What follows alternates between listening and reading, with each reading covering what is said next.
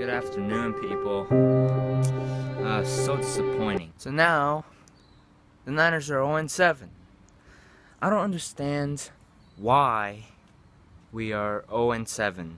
By the fact that we've lost so many games by under three points, and we get damn blown out by the bum Cowboys. I thought we could just murder the Cowboys. The Cowboys are not even that good. They're not even well organized. The defense is trash, and I don't know how we only scored 10 points. It's very it's very very discouraging to watch the Niners play because it's just so bad. It's just oh no, no, no. I mean, every time I scroll up through social media, they're like, "Oh, all the Cowboys players like, "Oh, blessed day, good win." Hmm. How do you explain the state of the 49ers right now? It's incredible how we're not delivering wins. We're 0 7. Like, we are the same level as the Cleveland Browns. We should never be the same level as the Cleveland Browns because the Browns are trash. They're just called the Browns. They should just change the name. It's not because of the brown, the color. It's just the Browns. Like, who wants to be the Browns? Like, I guess racism takes part in that. But the Browns really 0 7 teams. Like we're much better. I'm I'm fucking frustrated how we're the best 0 6 team ever and we get damn blown out by the Cowboys who just the first drive was unbelievable. Forced a three and out. I thought the Reuben Foster's presence in the defense would change this game, but nope punt, fumble, and then 7 0. And then, like a damn Ezekiel Elliott just runs the defense over, and then 14 0. And it's basically a murder after that. And then get a garbage time touchdown, which I don't even, I'm not even proud of. It's just so discouraging for me to watch the Niners play, and the state is just, I don't understand. And people say Reuben Foster is an injury prone, and if he gets injured again, I mean, that is classified as injury prone. But I heard that he's good to go against the Philadelphia Eagles, who are somehow are six and one, and I don't fear the Eagles. Like there are some good teams like like Patriots that are like really really good. Like I don't expect them to win against them, but the Eagles are just like they're just like the Raiders last year. They like win in a close games. They somehow find a way to win. Their defense is good. Their offense has been emerging but it's not like a real like a threat to the NFC. It's not really a threat because they're just winning close games and stuff. I hate I hate when we keep saying that next year we gotta do well next year. Because what is there next year? Every year I'm damn frustrated. It's because I've been watching good football, of 11 and 5 football, a 12 and 4 football, 11 4 and 1 football where we always go to the playoffs and we find a way to win. And it's always exciting for the Niners for me to watch the game.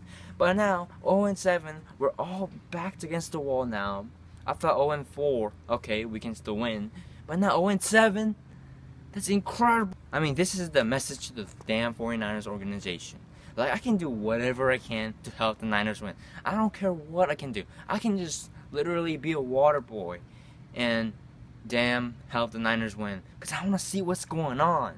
I keep searching in the off season. Okay, what's going on? What's going on? Where how are the first round picks doing? How are all the draft picks doing?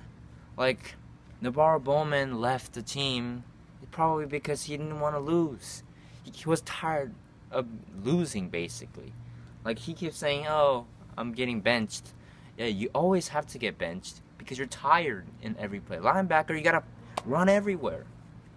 It's probably because, and damn, the Raiders won that in a close game by that stupid penalties in the end, and it's just, ah, it angers me to see. But at least NaVorro Bowman has faith, still faith in the Niners. He always he thanked the Niners. I mean, that's what you're supposed to do. But some players, like let's say Eric Bledsoe at the Phoenix Suns, like seriously, he said, "I don't want to be here," and he he referred to it as a damn barbershop. Come on now, like that's real. Like, are you serious? It's like it's like getting caught doing something. You're like, oh, you're just hiding it when they see you. Like, really? Do you really think you're gonna get away with that?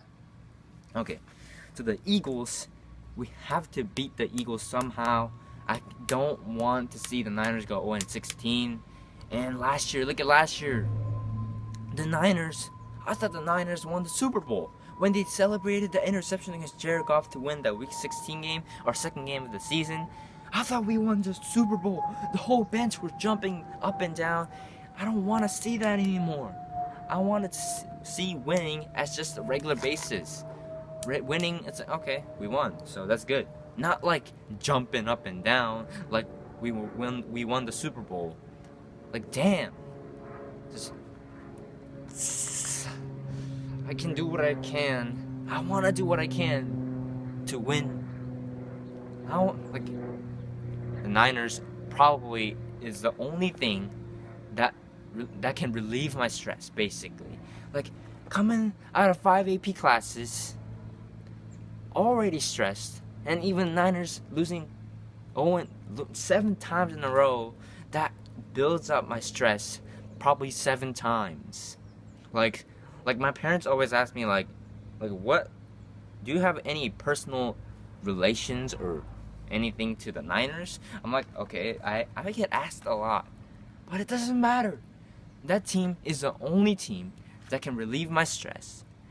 And like watching movies, no, I hate movies. I don't understand why people watch movies because like watching movies, it doesn't. It's it's fictional. Like maybe non-fictional, you can learn something from it. Like who watches non-fictional? Seriously, if you're watching movies to relieve your stress, not add your stress, not add emotions. Just try to laugh and just relieve the stress. Like you're watching fictional movies. Like you're you're being sad at a character who died and they're getting millions and millions of dollars. So Niners, but Niners different. Like I have faith to it. I like cheer for them. It's not like you cheer. Can you cheer for a movie actor? I don't understand. Like I don't know if you can, but it doesn't matter. I believe the Niners can go 9 and 7. They have the talent, the young defense. Keep hearing the young defense part, but we're not delivering it. So if you have enjoyed this video, subscribe to my channel.